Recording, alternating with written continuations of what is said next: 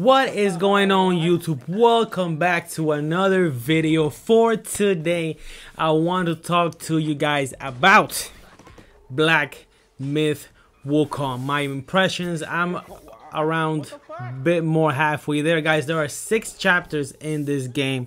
I am now on chapter 4, about a third into chapter 4. This game guys, as of right now, as it stands, it is my game of the year. It is that serious. At first, I was really hesitating to get this game, guys. I am now a casual gamer. I like to just play games for fun. I don't like to get frustrated during games. I like my games to to hold my hand and guide me to where I need to go, all that stuff. And I'll talk to you guys about what this game has. That uh, it is a challenge for me, but I am enjoying it because it is my type of game and it's the game that I like to play. But it just came with some challenges, right? Now, let's talk about graphics, guys. This game is a looker. I have it on PlayStation 5. You guys can see part 1 right now on my YouTube channel, Black Myth Wukong part 1 gameplay. Now, this game looks good, guys. It looks good. Now, when I first started it, it kind of disappointed me because I was so used to seeing the PC gameplay of this game. And when I opened it on PS5, I'm like, oh, I, there's some parts that look good, some parts that didn't look good. But as I advance through the game and I see cutscenes and I see environments, I see some bosses, I see gameplay, I see a lot of things, guys. This game looks good. Chapter 3 specifically is the one that has caught my attention the most. It is uh snow. So you're in a snow place, and the attention to detail in this game, guys, it is incredible. It is very AAA, high production value. This is a high production value game, guys. I recommend it. If you're into the God of Wars, if you're into action adventure, and you're not a casual gamer, you like you like a challenge, you like the the that type of game, right? I completely recommend it at full price. This game it is actually worth every single penny, guys, and um, it's good because we should support uh these developers. We should support games like this so that way more games like this come out and the industry takes a look at this and and pays attention to what gamers actually want uh in uh, in a video game to what gamers actually want to play and what they're supporting. This game has sold 10 million copies in the span of the only the first three days. This game came out in August 20th. This game has sold 10 million copies in the first three days. So it's, it's been selling more since then, guys, and that is just the beginning.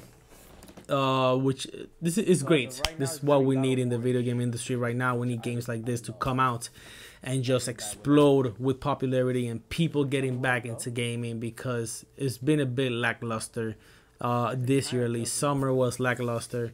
Uh, now October, uh, September and October are looking a bit better.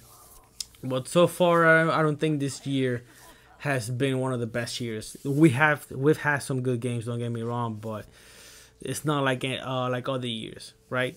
So this game came out, and uh, there's a couple of things not that I don't like, but that they have been a challenge. So number one, let's talk about gameplay, right? So gameplay, you have your light attack with square, you have your heavy attack with triangle.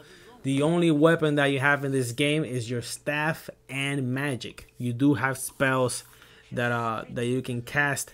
You get those spells as you progress through the game. With the with the R2 and square, triangle, circle, and X, you get different spells. You get the spells as you progress through the game and you beat bosses and the story goes on. Now, what was it? Oh, the staff, guys. The staff has three different stances. So you have three different stances.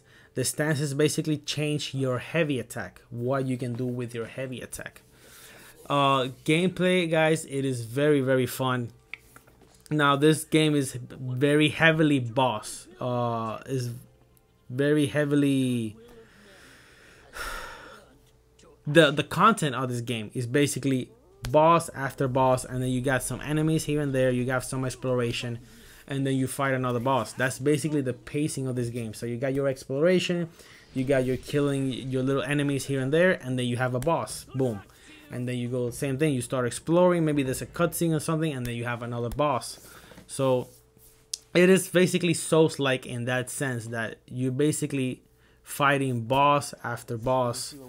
Uh, each chapter could easily have 10 bosses or 8 bosses from little to to big you know there's also secret bosses and this uh, all stuff of that nature another another thing that uh that is in this game that uh it has been a challenge for me is that there is no direction. There is no mini map the there is no telling you okay you should go here and this and that. It only tells you where there's a shrine. So a shrine is where you rest you get some health and then um but the enemies respawn, right? So you rest, you get your health, you get everything back, your mana, you know, the typical video game stuff that you get, but the enemies respawn. So uh, the game only only kind of points you when you're near a shrine that you haven't been in. It tells you, okay, there's a shrine near here. Follow this this little light, right? Other than that, you have no map whatsoever, so you have to figure your way out. You have to figure your way forward in this game, which is it's a good thing because it forces you to explore everything because you don't know.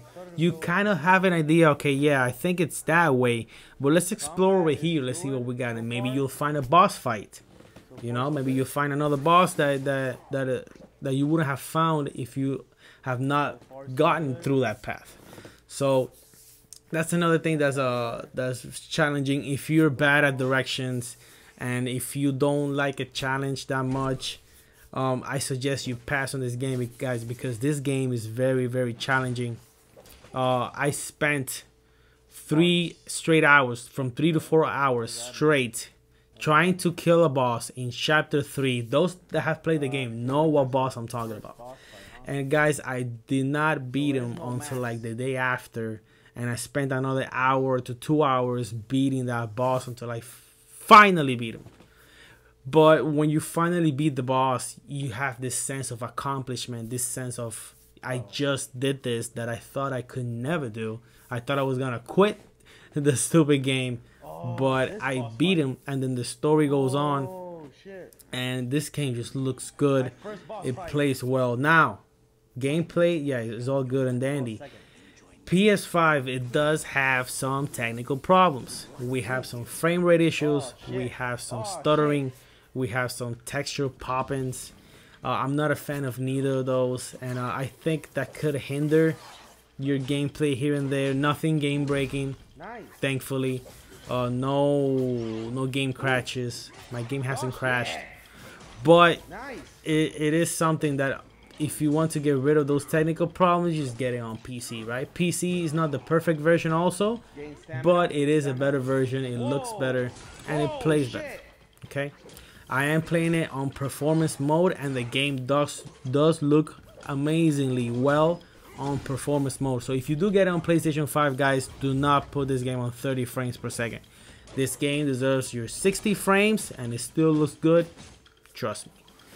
And uh, yeah, those are my impressions so far, guys. It is my game of the year so far until something better comes along the way. But this game is amazing. It looks great, plays great, and it's just something different, something that we needed this year that uh, the game industry just hasn't captured yet. If you guys oh, have the game, comment down below what platform you have it on. What was your hardest boss that you fought and from a scale of 1 to 10 how frustrated are you with this game? Right now i'm at a 15 but i'm loving it. Thank you guys so much for watching. I'll see you guys next time. Ah i was gonna dodge that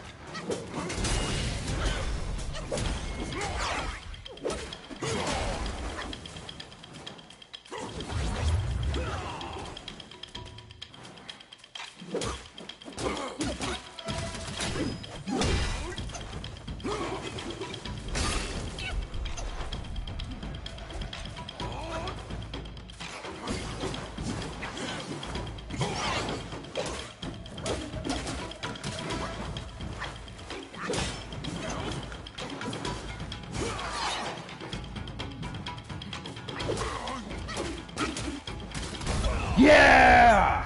Let's fucking go! Yo!